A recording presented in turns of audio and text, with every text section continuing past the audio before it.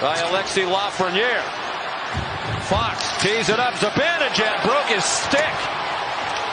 And he's back to get another one. Panarin scores! Top shelf! And the Rangers are on the board and still And maybe, Ray, the play needs to be that Zibanejad needs to go to the bench to get a stick. Five goal. What are the chances? Zibanejad's now out of the play, as you mentioned. But the Panthers don't get the puck out of the zone. This is a great shot by Panarin. He's got enough room, which he hasn't found. And where do you beat Bobrovsky? It's not on the glove. It's right by his ear. This one is in the net.